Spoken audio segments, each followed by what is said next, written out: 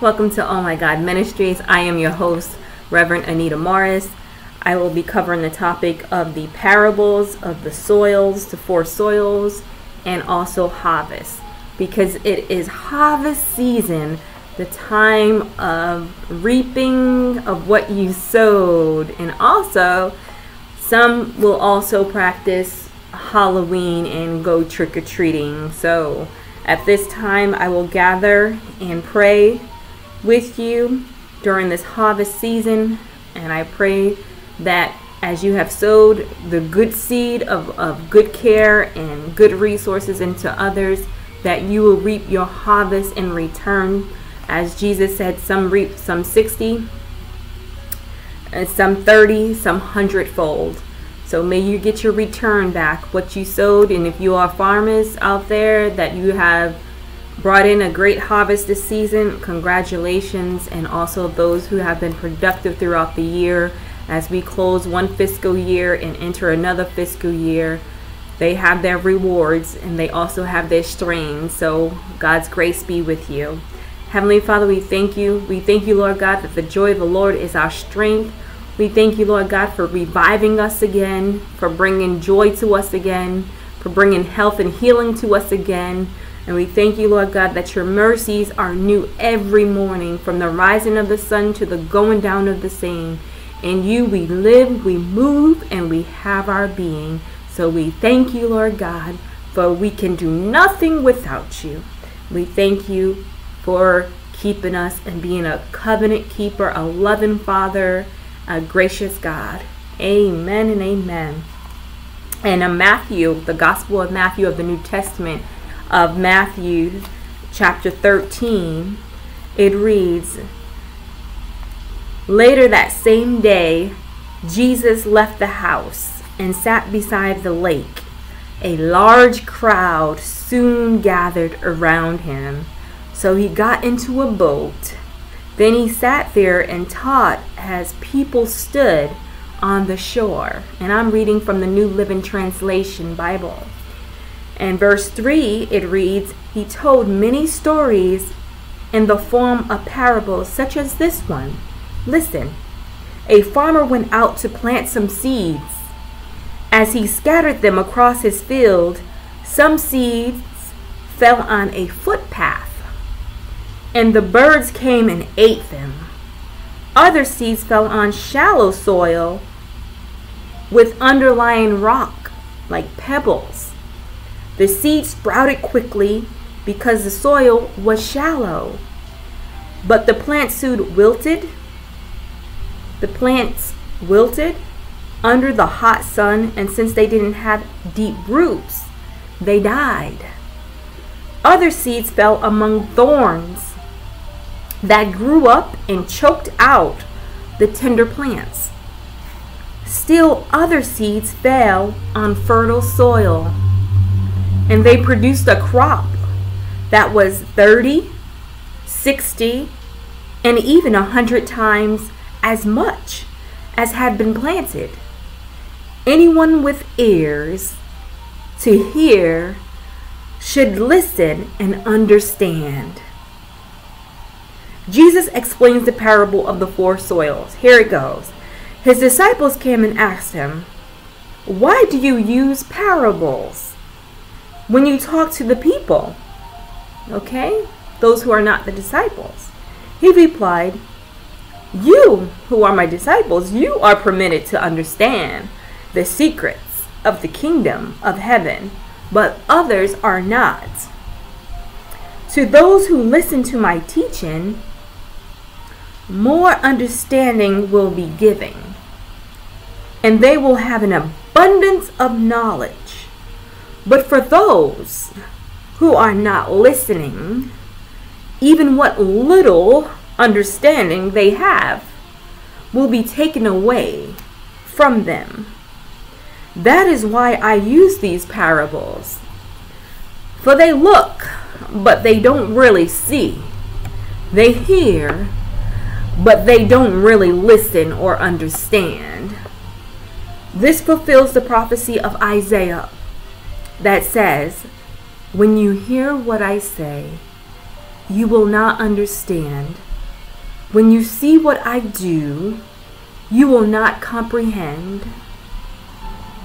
For the hearts of these people are hardened, and they their ears cannot hear, and they have closed their eyes, so their eyes cannot see, and their ears cannot hear, and their hearts cannot understand, and they cannot turn to me, which is Shuv, and let me heal them. Because Jehovah Jireh, He's Rapha.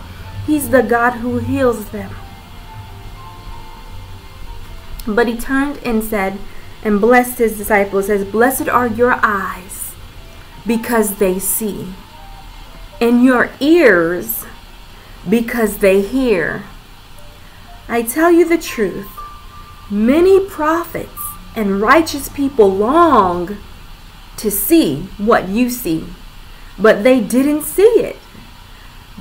And they long to hear what you hear, but they didn't hear it from the lips of Jesus.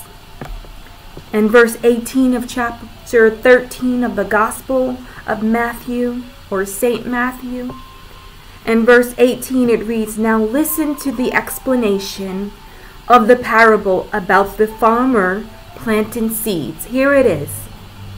The seed that fell on the footpath represents those who hear the message about the kingdom and don't understand it. Then the evil one comes and snatches away the seed that was planted in their hearts. The seed on the rocky soil, which is the pebbles, represents those who hear the message and immediately receive it with joy. But since they don't have deep roots, they don't last long. They fall away as soon as they have problems. How many of us have problems? Or are persecuted for believing God's word?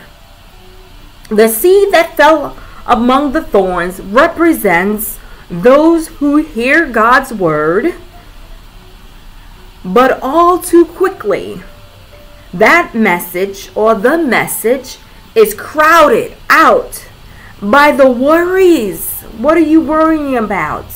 It's choking you. It's worried of this life and the lure of wealth. So no fruit is produced. The seed that fell on good soil represents those who truly hear and understand God's word and produce a harvest of 30, 60, or even a hundred times as much had been planted. As they said with the American Express, what is in your wallet? What is in your heart that you are producing this harvest season that's producing 30, 60, 100 fold of what has been planted? Is it good soil? Or is it soil that's choking you, that have you under arrest? Or is it on pebbles, a rocky soil? You receive it with joy, but you hear it, and then all of a sudden, all of a sudden, you don't have deep roots, and it doesn't last. The joy of the Lord is your strength, my dear beloved.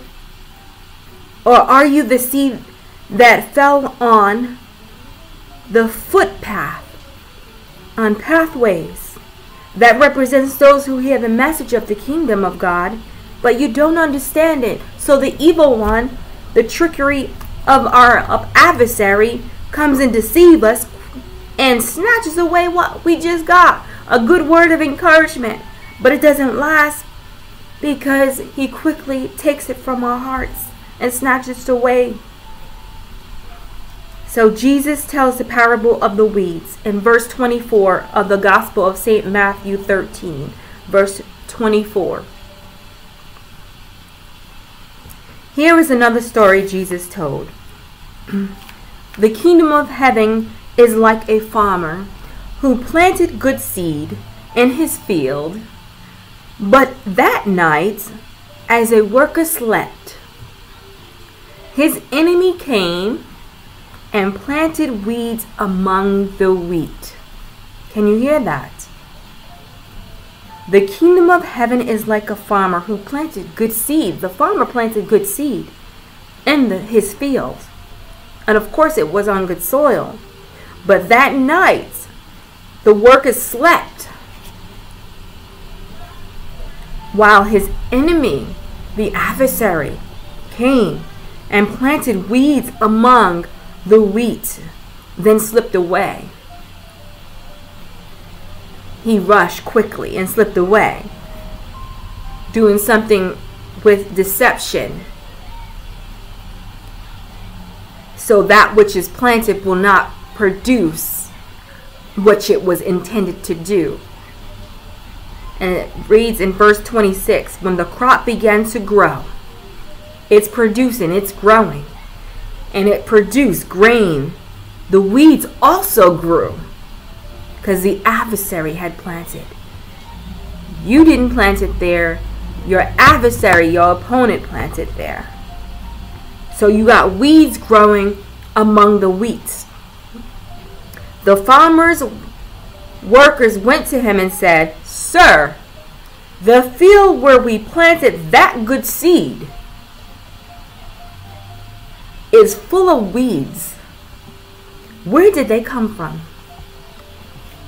I know it wasn't me, the farmer said, as of course I'm exaggerating in this text because the farmers grew weary and said, Where did they come from? And then the reply, An enemy has done this, the farmer exclaimed. In verse 28, should we pull out the weeds? The farmer's workers said. Should we do this and pull out the weeds? They asked. No, he replied. You'll uproot the wheat if you do. So don't touch it. So oftentimes when we see evil and good happening at the same token, we want to remove that which is good and plant that which is good among all the good stuff. But God said, let it grow. Let good grow with the that which is wicked. Let good and evil grow together. And God said, do not uproot it. That's in the words in red. As some people say, whatever's in red, those are Jesus' words. The farmer said, Should we uproot it? Should we pull the weeds? They asked. No, he replied. You'll uproot the wheat if you do. You'll uproot that which was good intended to do and have purpose if you do. Let both grow together until the harvest. It's harvest season, y'all. Then I will tell the harvesters to sort out the weeds, tie them into bundles, and burn them, and put the wheat in the barn. Amen. Which is useful. Okay? Jesus tell the parable of the mustard seed. Here is another illustration Jesus said and used. The kingdom of heaven is like a mustard seed planted in a field. It is the smallest of all seeds. If you read in the biblical text of the Old Testament, you can be the smallest of your relatives, meaning not in height, but in influence of, of, of low pedigree. But Jesus said about this mustard seed, or you can say a mustard seed faith, a person who has a little mustard seed faith. It is the same as it is the smallest of the seeds, but it becomes the largest of garden plants. It grows into a tree, and birds come and make nests in its branches. It becomes the largest of garden plants, and it grows into a tree, and birds come and make nests in its branches it abides there. It makes its dwelling there. It's habit. What do you call it? It's inhabitable. Okay, so you can live there. Amen. It was not a, what we call Lodabar, an empty place, inhabitable, but it was able to be habitable. You can live there. Okay, isn't that beautiful? Amen. And may you have mustard seed faith as you have grown from faith to faith to glory to glory, you may have started off with a little tiny mustard seed faith, but you allowed your faith to continue to grow and grow and grow as you trusted and you have relied and you have put your confidence in God, in Christ Jesus our Lord. And it reads on Jesus tells the parable of the yeast. Jesus also used this illustration. The kingdom of heaven is like the yeast a woman used in making bread. Even though she put only a little yeast and three measures of flour, it permeated every part of the dough. As people say, it's un, it's, it was able to be touched in all places just by that a little amount. Amen. Everything you touch turns into gold. That was the yeast that the woman placed into three measures of flour. Every part of the dough was touched by it. Okay? And Jesus always used stories and illustrations like these when speaking to crowds. In fact, he never spoke to them without using such parables. This fulfilled what God had spoken through the prophet. I will speak to you in parables. I will explain things hidden since the creation of the world. Jesus explains the parables of weeds. Then, leaving the crowds outside, Jesus went into the house. His disciples said, Please, Lord, as if he didn't explain this before. Here it is again. The disciples are going to, unto Jesus and asking, Please explain to us the story of the weeds in the field. You would think the disciples would be now educated because they was among Jesus and, and was able to get the inside knowledge or the secret things of God. Just as us ministers, we would you would think as ministers of God, we would have the secret things of God hidden from others that we are to be able to reveal God's word. Well, God can touch anyone and cause anyone's mind, hearts to make them and cause them to understand. If you would allow him to uh, allow him to touch your eyes, touch your ears, touch your heart, and receive Him as your Lord and Savior, He will open your eyes, beloved. He will open your hearts, beloved, and cause your ears to hear that you will be healed. And Jesus explains, He replied, The Son of Man, which is Himself, is the farmer who plants the good seed. Christ in God, God in Christ Jesus, planting the good seed in our hearts. The field is the world and the good seed represents the people of the kingdom of God, those who have acknowledged Christ as Lord. The weeds are the people who belong to the evil one, the wicked one. The enemy who planted the weeds among the wheat is the devil, the serpent. Okay? The harvest is the end of the world. The harvesters are the angels. The angel's job is to pull up and to bundle and throw into the fire the weeds, okay? Or bring the wheat into God's barn, okay? To save the good and to extract the wicked, okay? Just as the weeds are sorted out and burned in the fire, so it will be at the end of the world. The Son of Man will send his angels, and they will remove from his kingdom everything that causes sin and all who do evil. And the angels will throw them into the fiery furnace, where there will be weeping and gnashing of teeth. Then the righteous will shine like the sun in their Father's kingdom. Anyone with ears to hear should listen and understand. Jesus tells the parable of the treasure. The kingdom of heaven is like a treasure that a man discovered, or you could say a woman discovered, Adam, humankind, hidden in a field. In his or her excitement, he hid it again, sold everything he owned, to get enough money to buy the field. Another parable. Jesus tells the parable of a pearl merchant. Again, the kingdom of heaven is like a merchant on the lookout, okay, for choice pearls. When he discovered a pearl of great value, he sold everything he owned and bought it. Isn't that like Christ Jesus? He gave up the throne of heaven to come down here as mortal flesh and live a, a life in human sinfulness, but yet without sin. Gave up everything for us, bruised for our transgression, chastised for our peace. The punishment was upon him that brought us peace, and with his stripes we have been healed. And that's in Isaiah, love. and beloved of Isaiah 61. This is what Christ done for you and for me.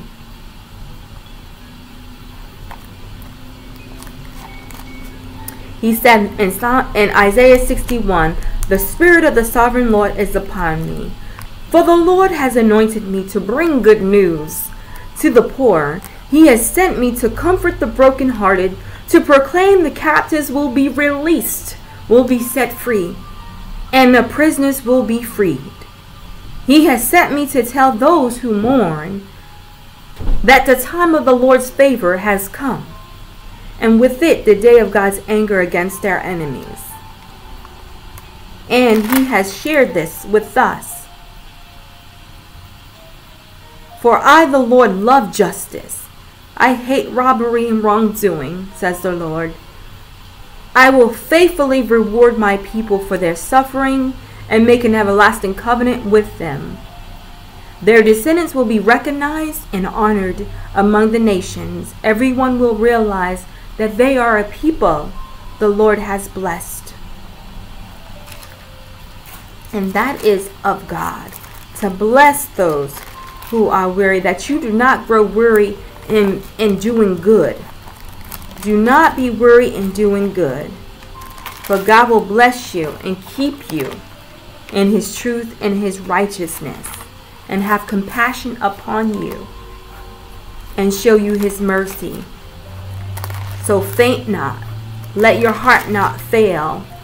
Keep trusting, keep believing in the Lord and Savior, our Lord and Savior Jesus Christ.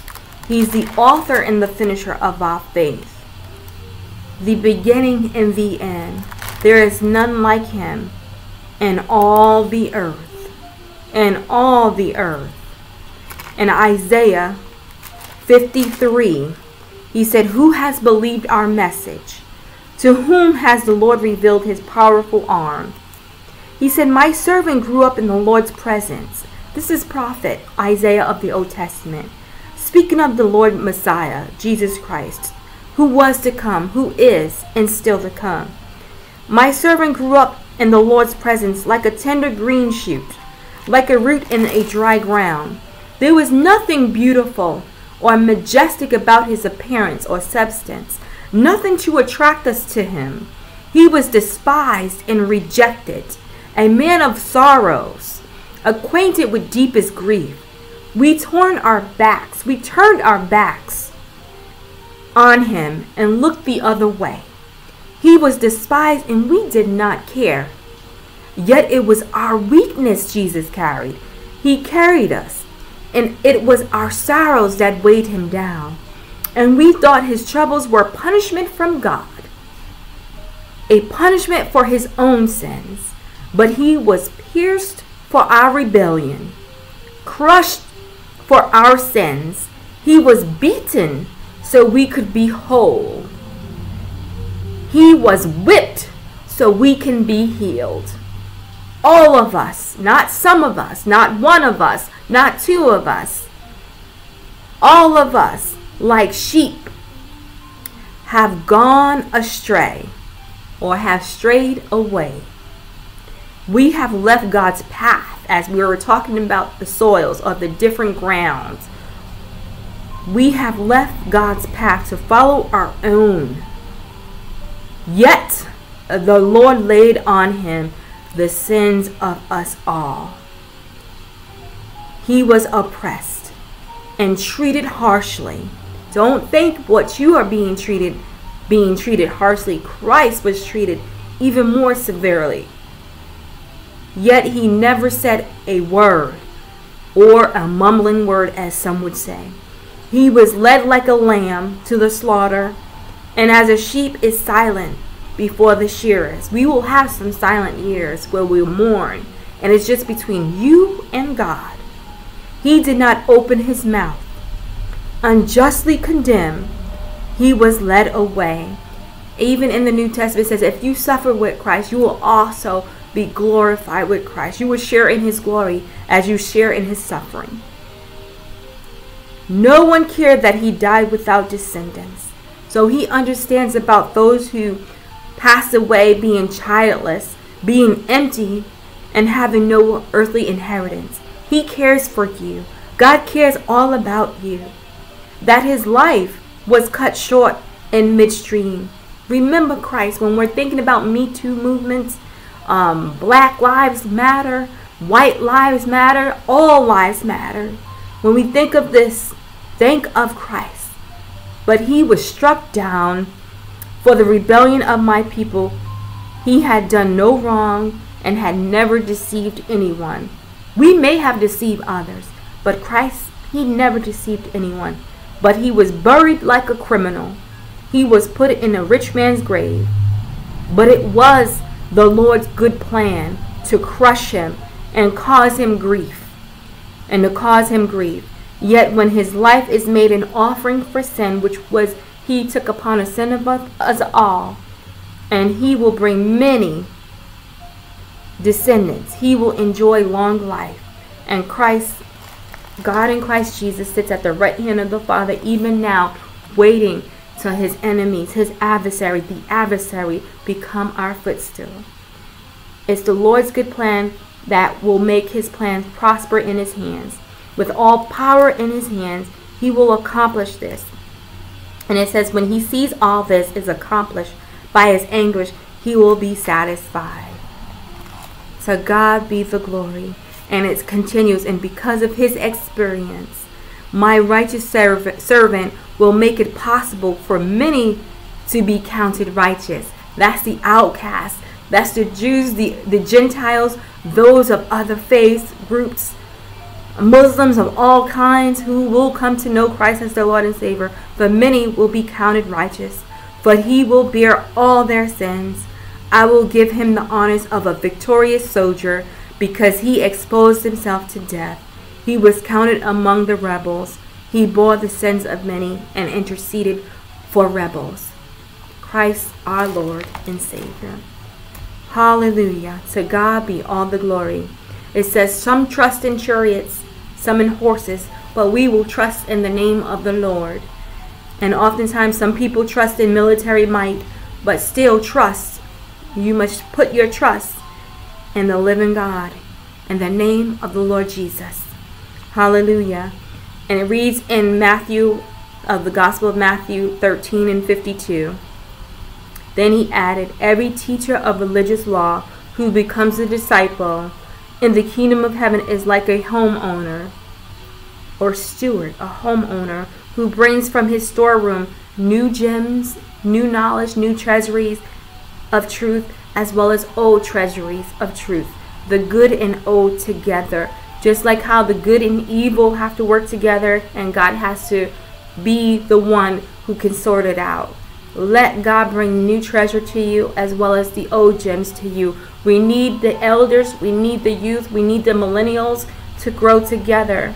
And let this be God's offering to us to receive each other, to love each other as Christ loved us all and gave himself for our lives in our place. For of our sins, he gave us peace and given us everlasting joy. To God be all the glory. God bless you and peace be with you. Amen and amen.